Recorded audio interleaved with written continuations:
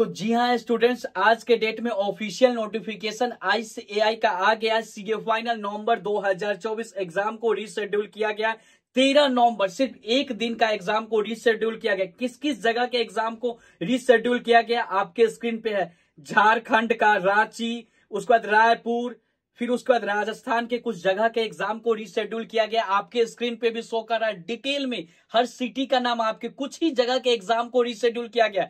बाकी last line में देख लो। बाकी सारे जगह पे अब डाउट आ सकता है ना कि और सब जगह का क्या होगा? और सब जगह का एग्ज़ाम एज पर शेड्यूल होगा। सिर्फ़ कहाँ कहाँ के एग्ज़ाम को रिशेड्यूल किया गया, आपके स्क्रीन पे शो कर रहा है। मैं हाईलाइट भी कर दे रहा हूँ बच्चों। ध्यान से बातें को सुन लीजिएगा बाकी सारी जगह का एग्ज़ाम एज पर शेड्यूल होगा। तेरह नवंबर 2024 को आखिरी पेपर सीए फाइनल का था। उसको जिस जगह पे रिशेड्यूल किया गया सेम 14 नवंबर को एग्ज़ाम होगा सेम समय में एग्ज़ाम होगा।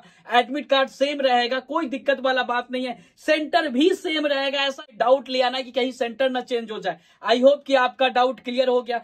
एक बार फिर से बोल रहे हैं, सिर्फ़ और सिर्फ़ कुछ ही शहर का एग्ज़ाम को रिशेड्यूल किया गया। वो शहर आपके स्क्रीन पे सिटी का नाम शो कर रहा है। इसके अलावा कोई भी डाउट है तो यूट्यूब कमेंट बॉक्स ओपन है। आप वहाँ पे मुझसे पूछ सकते हो चैनल पे नए हो सब्सक्राइब कीजिएगा। मिलते हैं नेक्स्ट वीडियो